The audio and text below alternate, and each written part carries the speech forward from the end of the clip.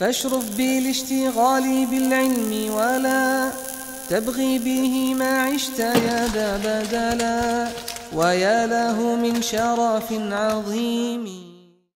الحمد لله رب العالمين له الحمد الحسن والثناء الجميل وأشهد أن لا إله إلا الله وحده لا شريك له يقول الحق وهو يهدي السبيل وأشهد أن سيدنا ونبينا محمد صلى الله عليه وعلى آله وأصحابه والتابعين لهم باحسان الى يوم الدين اما بعد My beloved brothers and sisters, I wanted to address a very important topic.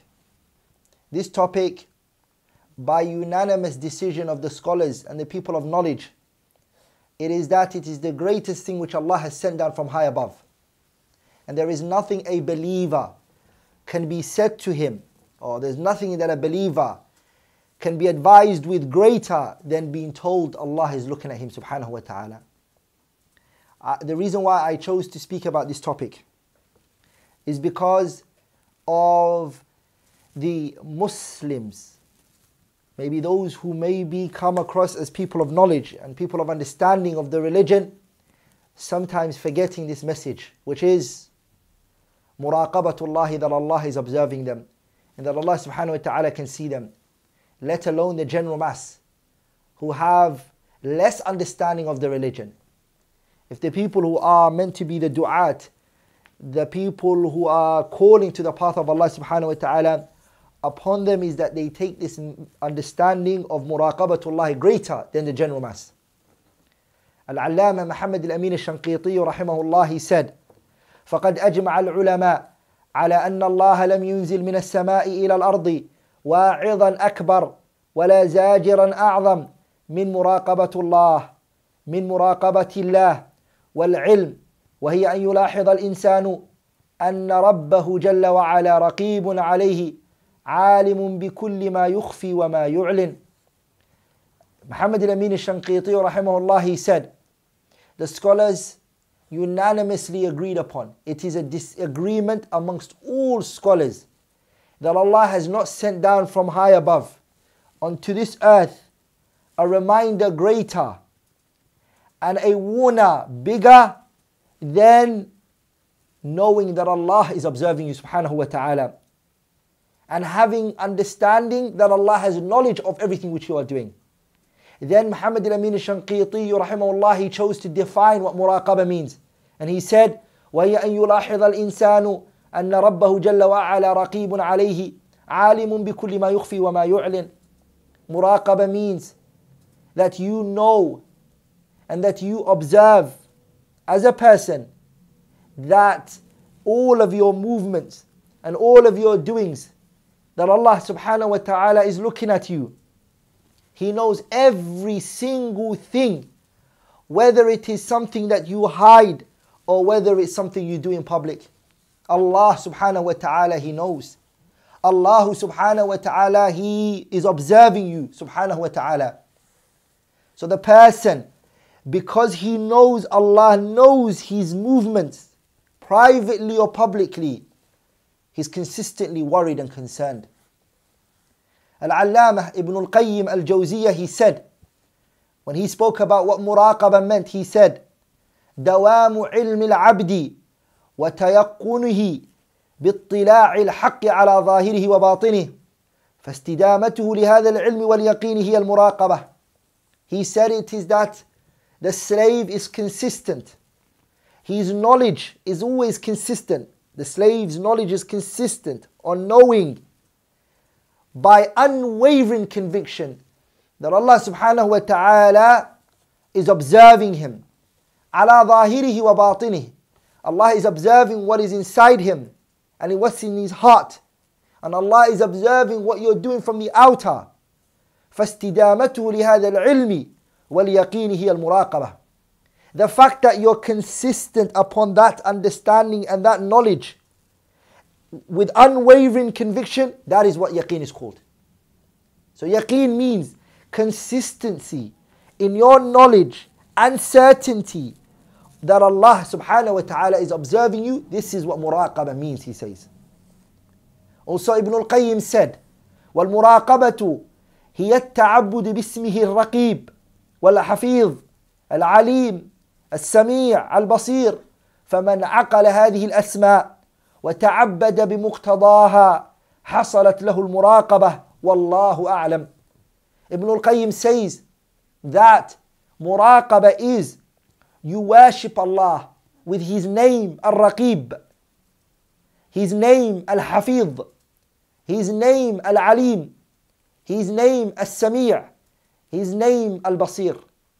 Al-Raqib is the one who's observing you, you're worshipping Allah on that name.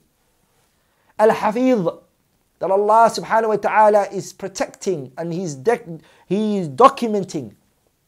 Al-Alim, knowledgeable one. Al-Sami' the all-hearer. Al-Basir, the all-seer. فَمَنْ عَقَلَ هَذِهِ الْأَسْمَاء Ibn al-Qayyim said anyone who comprehends those names of Allah, he understands them, what they really mean.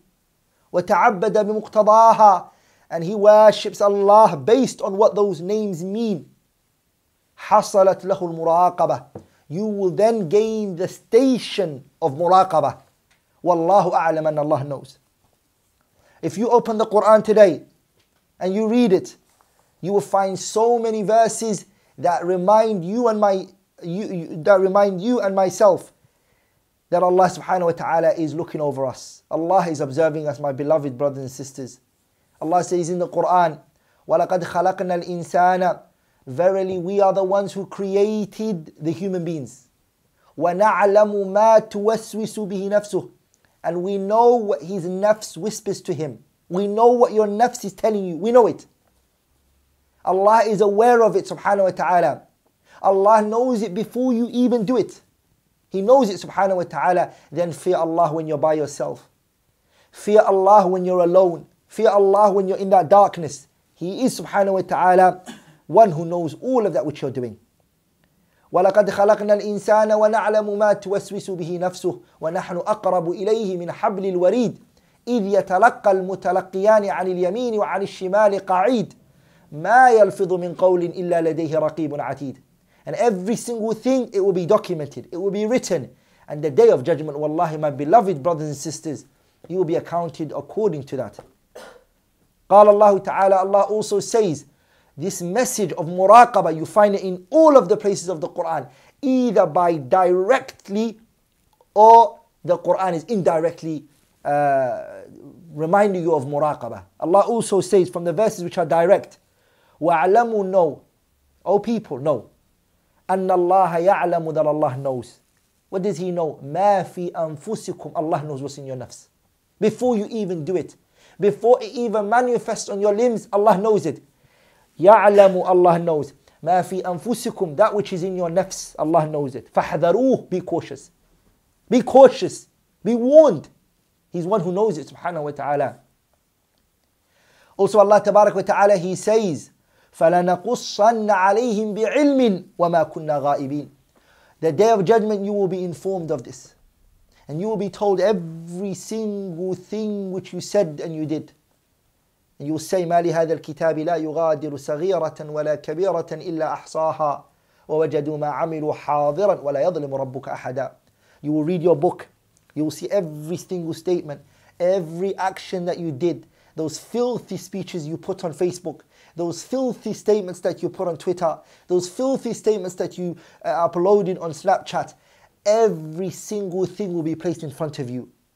لا يغادر صغيرة ولا كبيرة Allah will not leave a little and a lot everything is there ووجدوا ما عملوا حاضرا you will find everything you said and done in your face in front of you ولا يظلم ربك أحدا Allah does not oppress Allah does not oppress and He never will oppress سبحانه وتعالى فلنقصن عليهم بعلم وما كنا غائبين You will be told about what you did that day and Allah was never absent Allah was never away from seeing you do that. Rather, you made Allah the worst of ones who observe you. You hid that from everybody else. You stayed away from everybody else. You excluded yourself from every, everybody else. But you didn't do that to Allah wa ta'ala and His angels. You allow them to watch you doing those filthy acts and those filthy doings. Watching those filthy things with the eyes He, Allah subhanahu wa ta'ala, gave you the eyes that He wanted you, subhanahu wa ta'ala, to use for His remembrance, to recite His Quran, to, uh, to obey your parents with, to do things that are lawful and that which He loves. Rather, you chose to go against Him with what He gave you, subhanahu wa ta'ala. Allah also says, subhanahu wa ta'ala, وما تكون في شأن وما تتلو منه من قرآن ولا تعملون من عمل إلا كنا عليكم شهودا إذ تفيضون فيه وما يعزب عن ربك من مثقال ذرة في الأرض ولا في ولا في السماء Allah says to us subhanahu wa ta'ala every affairs and every doings that a person comes with Allah subhanahu wa ta'ala is aware of it إلا كنا عليكم شهودا إذ تفيضون فيه When you were doing that act, Allah subhanahu wa ta'ala was witnessing it, was observing it. وما يعزب عن ربك من مثقاله A mustard seed will never be hidden from him subhanahu wa ta'ala. Everything he knows. Rather, abshir ya Abdullah, my beloved brothers and sisters, take this as a glad tidings. Allah knows it before you even intended to do it. He knows whilst you're doing it. He knows what you're going to do in the future. And He knows that if He allowed you to do this, whatever else you could have done, He knows it, even if it hasn't happened. Subhanahu wa ta'ala. The poet he said, إذا ما خلوت الدهر يوما فلا تقل If you are by yourself, excluded and you're not with anybody, فلا تقل Do not say I'm by myself. فلا تقل خلوت ولكن قل علي رقيب Don't say I'm alone, I'm away from everybody else. But rather say I'm being observed. observed. I'm never alone. ولا تحسبن الله يغفل ساعة and never think to yourself that Allah is heedless a split second. Never think that to yourself. ولا أن ما يخفى عليه يغيب and don't ever think to yourself whatever you are doing will be hidden from him subhanahu wa ta'ala. Never think that to yourself. My beloved brothers and sisters, I want to tell you of a punishment for a people who thought to themselves, assumed that no one is seeing them. And they emerged into the sins and dwelled into the sins. And they showed no shyness to Allah wa ta'ala. The severe punishment that they will endure the day of judgment. And how Allah wa ta'ala will deal with them. Arhamur Rahimin. The most merciful one chose to punish them like this. So we can all come to reality and understanding the severity of doing things privately, thinking that there, there's no one observing us. There's a hadith that Ibn Majah and others narrated. Sheikh Nasiruddin al-Albani, he authenticated it. And it is as he graded it, alayhi. This hadith is on the authority of Thoban. He said that the Prophet sallallahu alayhi wasallam said, لأعلمن أقواما من أمتي يأتون يوم القيامة بحسنات أمثال جبال تهامة بيضاء The Prophet صلى الله عليه وسلم he says that he knows a group of people from his ummah. They are going to come the day of judgment. These people are going to come the day of judgment with righteous actions that have filled the earth and they are as big and as large in quantity like the mountain of Tahama. It's nothing small. They have stacked rewards and good doings. And their actions are as big as the mountain of Tihama Bayda. So clear and so apparent their actions. فيجعلها الله فيجعل الله جل وعلا and Allah أرحم الراحمين the most merciful one the kindest one he chooses to do what he makes it haba'an manthura. Allah nullifies it all. He takes it all away from this individual. Thawbani said, Ya Rasulullah, O Messenger of Allah, sifhum lana, jallihim lana, O Messenger of Allah. Describe these people for us. Tell us their description and what type of people are these individuals. And when the Sahabas would ask this question, it wasn't just a question for the moment so they can just pass time. It was a question that meant and it, had a goal for them. And what was that, my beloved brothers and sisters? They wanted to stay away from whatever it was that was leading these individuals into the hellfire, or that was bringing them destruction, or that was nullifying their righteous actions. The Sahabas, they want to stay away from, away from that path. So they said, O Messenger of Allah, Tawban said, Ya Rasulullah, Sifhum lana, describe these people for us. How have these people earned? Um, how did they? It, how did it happen to them that their righteous actions get nullified? All of it. The reason why Thoban asked this question is because at the beginning of the hadith, the Prophet wasallam he said, "Min ummati, la'alamanna aqwaman min ummati." I know a group of people from my ummah, and the ummah here the Prophet is referring to is ummatul ijaba, and not ummatul da'wah. Ummatul ijaba are the ones who've accepted the message of Islam, the believers. So the Prophet is referring to believers because there's another riwayah that says when the Sahabas asked, Ya Rasulullah, who are they? The Prophet ﷺ responded by saying, They are your brothers. Hum ikhwanukum, they are your brothers. Yusalluna, they pray the way you guys pray. Wayasumuna, and they fast. Kama tasumuna, the way you fast. وَلَهُمُ الْحَظُّ مِنَ اللَّيْلِ And at night time, when everybody else is sleeping, they are people who stand up and they pray at night. Brothers, wallahi, ponder here and sisters. Oh, you who have chosen to sin behind closed doors and to commit the crime, and to watch filthy videos and listen to filthy music. Remember this. You don't even pray Qiyamul Layl. You don't even fast the month of Ramadan if it comes. Some of you, you don't even pray your five daily prayers. These individuals, They've come with righteous actions as large and as great as the mountain of Tahama. وَلَهُمُ الْحَظُّ مِنَ اللَّيْلِ And they pray Qiyamul Layl. They are slaves who come with righteous actions. But the problem here is وَلَكِنَّهُمْ إِذَا خَلَوْا بِمَحَارِمِ اللَّهِ انْتَهَكُوهَا The problem with these individuals were what? Is not the fact that they came with righteous actions, is because when they were by themselves, when there was no one looking at them, they listened to things that Allah prohibited. They watched that which Allah tabarak wa ta'ala prohibited. They did things that Allah prohibited. So because of that, وَلَكِنَّهُمْ إِذَا, وَلَكِنَّهُمْ إِذَا خَلَوْا بِمَحَارِمِ اللَّهِ انْتَهَكُوهَا When they are by themselves, when no one can see them, they forget that Allah tabarak wa ta'ala is Ar-Raqib, Al-Hafiz, Al-Alim, Al-Sami' Al-Basir. They forgot He has those attributes and that those are His names. And because they chose to strip the curtain between them and Allah Tabarak wa Ta'ala, Abu Bakr radiallahu ta'ala anhu, a noble companion, he said, I am shy.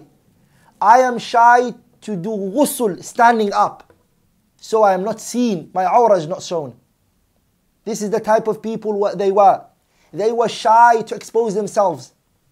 They were shy publicly and they were shy privately. They will not go against Allah's command. How can your eyes find joy in watching things Allah has prohibited? How can your ears enjoy that which Allah has prohibited subhanahu wa ta'ala? A believer's nafs does not allow him to enjoy these things.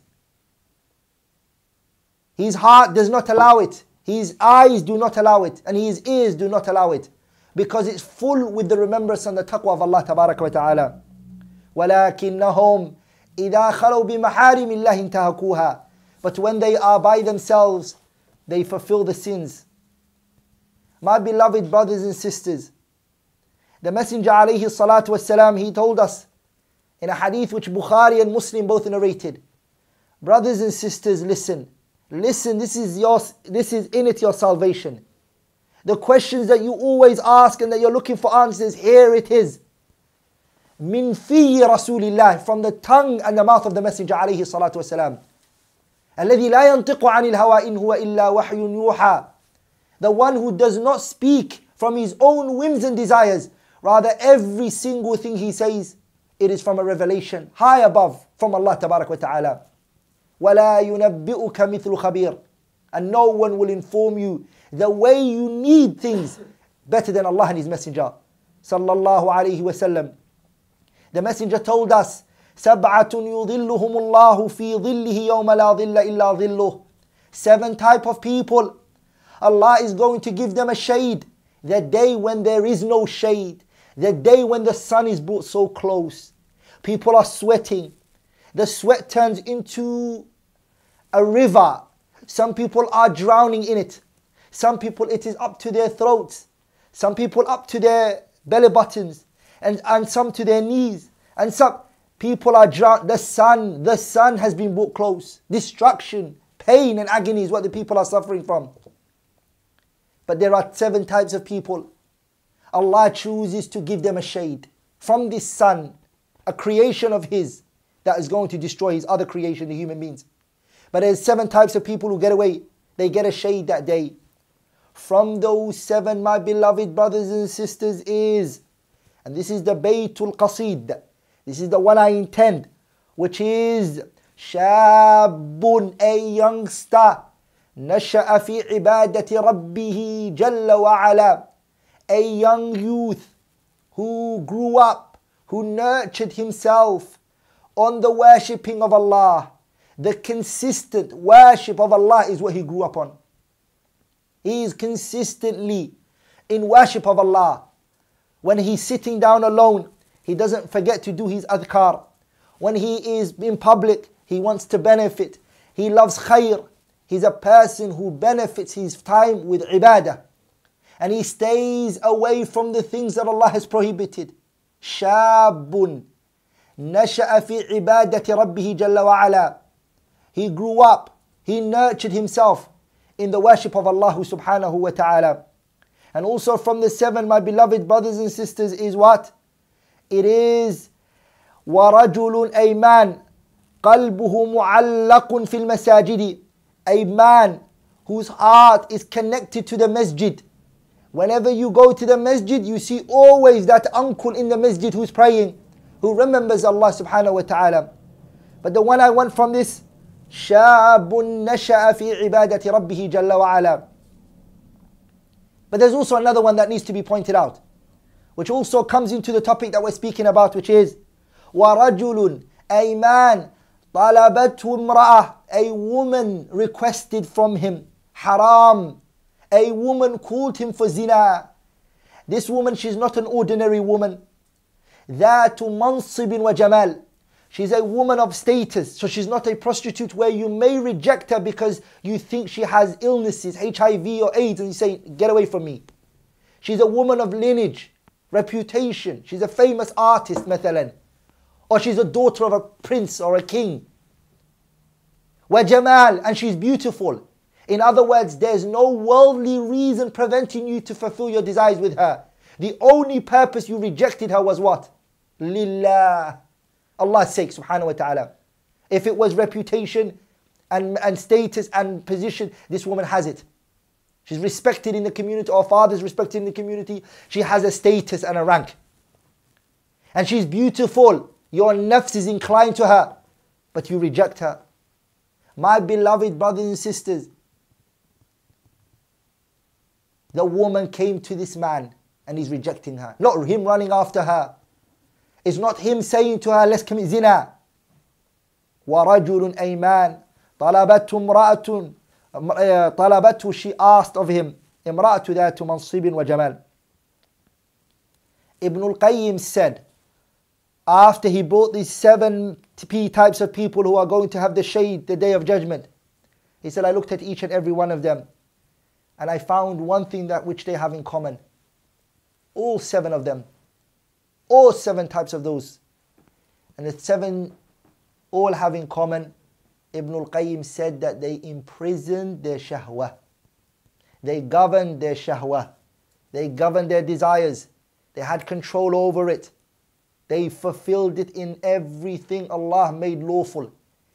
All seven of them, that is what made them prosperous.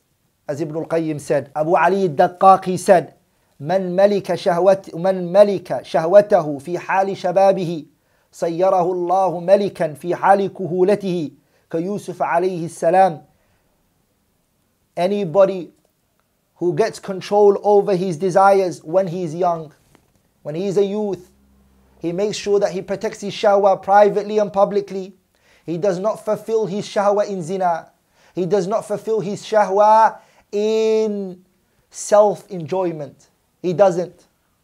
He governs himself by fulfilling it in that which Allah set him and His Messenger, which is to fast or to get married. he protects himself. What will happen for him? سَيَّرَهُ اللَّهُ مَلِكًا Allah is going to make him a leader. When? في حال كهولته when he ages. When he reaches kuhula, which is the age where his beard comes out, and he, his beard is not bl- is black, it's not white yet. That is called kuhula. At that time, it is 40 to the age of 50. The person, he will become a leader. كيوسف عليه السلام like Nabiullah Yusuf. Allah said about him, إنه من يتقي ويصبر فإن الله لا يضيع أجر المحسنين Anyone who comes with taqwa and he comes with patience, for verily Allah does not forsake the righteous actions of the righteous ones. Nabiullah Yusuf came with taqwa and he came with sabr from the woman who wanted to commit zina with him. Allah made him a leader. Nabiullah Yusuf became a leader. Ibn al-Qayyim said, سمعت شيخنا يقول Ibn al-Qayyim said, I heard my sheikh say, referring to Ibn Taymiyyah, جهاد النفس والهوى أعظم من جهاد الكفار والمنافقين. The jihad of the nafs is greater and it is bigger than the jihad with the kuffar and the munafiqeen. فإنه لا يقدر على جهادهم because there is no one who can fight with the disbelievers and the hypocrite unless حتى يجاهد نفسه وهواه أولا unless he fights with his own whims and desires first. Sufyan ibn Uyayna, Sufyan al-Thawri, Sufyan al-Thawri rahimahullah, he said, أعظم الناس شجاعة The most courageous person is من يخالف هواه, the one who opposes his desires, who goes against his desires. That is the most courageous person. That is the bravest person. Do you want to be a brave person? Do you want to be a courageous person? Then prove it to us by going against your desires. Then and only then are you a brave person. But a person who becomes a slave, who becomes a slave for his desires, claiming that he's a leader, or claiming that he's a brave person and courageous, your own nafs has you, has you as a slave. I remember one time I saw a, a, a, a branch manager from Tesco's asking for money while I was standing at a bank, uh, as I was standing at an ATM. And she told me that if I came on Monday, it was on a Friday night or on a Saturday night, one of the two, that if I come to her on Monday in the uh, in Tesco's, she's going to give me back my money. And she's drunk. She's a branch manager. She's become imprisoned for her own desires. What is her leadership benefited her? The truth is, أعظم الناس شجاعة The most courageous person is من يخالف هواه The one who goes against his desires. I'm going to bring three stories to show you, my beloved brothers and sisters, the power and the strength and the quwwah of knowing that Allah is observing you. Take the story of Mubarak ibn Waddah al-Handali, the father of Abdullah ibn Mubarak ibn Waddah al-Handali. Mubarak ibn Waddah, he used to have a master which he worked for. He was a slave. And his master one time asked him to go get him a pomegranate. He said, Go get me the most juiciest, the most tastiest um, pomegranate in, my in the uh, garden. So he went to get him one. So he got it for him. And when the master had bit the pomegranate, he realized that it wasn't uh, for uh, it wasn't what he requested for. He requested for one that was juicy and good. So he said to Mubarak ibn Waddah al-Handali, Did I not order you to bring me um, a, a tasty pomegranate? So Mubarak responded by saying, All those year, years I worked in this garden, I've never eaten a fruit that's fell from a tree. So I wouldn't know which of those tastes nice. So the master was gobsmacked. And it was mind boggled with what the answer Mubarak gave. So he went and asked the jiran, the neighbors, and the people in the local, the community, about this individual, Mubarak ibn Waddah al-Handali. And they told him, he is afiful batni wal lisan. uh, uh, afiful batni wal farj. This man, amal lisan. He's a man who safeguards his tongue, a man who safeguards his private part and his stomach. Nothing will go in there haram. He watches what he says and he pre- prevents his desires, not known to fulfill his desires with women. When the master realized this, that he had a noble person in front of him, he came back to Mubarak. He said, Mubarak, I'm going to marry my daughter off. Who do you advise me to marry off to my daughter? And he said to him, the Christians and the Jews, they marry their daughters off based on dunya, based on money, based on reputation. But he said the people of taqwa and iman, they marry their daughters off based on religion. Mubarak, when he said that, the master said, I see one in front of me, and he married his daughter to Mubarak. Mubarak gave birth to who? Abdullah ibn Mubarak ibn Wadih al-Handali, the great noble Imam who's thiqatun thabt, hujjah in hadith, a man of knowledge. Also, the story of Ar-Ra'i, the shepherd, with who? Abdullah ibn Umar. When Abdullah ibn Umar came by and he asked him, he asked him if he could, he asked him if he could give them one of the sheep or one of the goats. And Abdullah ibn Mubarak, Abdullah ibn Umar, when he asked, the shepherd said to him, I can't. The master huh, hasn't given me permission for that. So Abdullah ibn Umar said, Then say to him, the master, when he asks you, Where did that sheep go or that? Akalahu dhib. A wolf ate it. Then Ra'i responded and he spoke to uh, Abdullah, ibn, Abdullah ibn Umar by saying to him, Ain Allah, where does Allah stand in this? Where does Allah subhanahu wa ta'ala stand in this? Abdullah ibn Mubarak's father, Mubarak ibn Wadah al-Handali, he was what? He was Sahib al-Bustan. He was no, he was a Haris Bustan. He was a guard, guard. He used to look after and protect what? The garden for his master. And this man, Abdullah ibn Umar is talking to, is a shepherd. Their muraqabatullah, the Salaf salih it went to the houses of the shepherds and into the households of who? The guard, the, the, the uh, hurras of the basatin those who guard the, the uh, uh, gardens and parks. And, you see?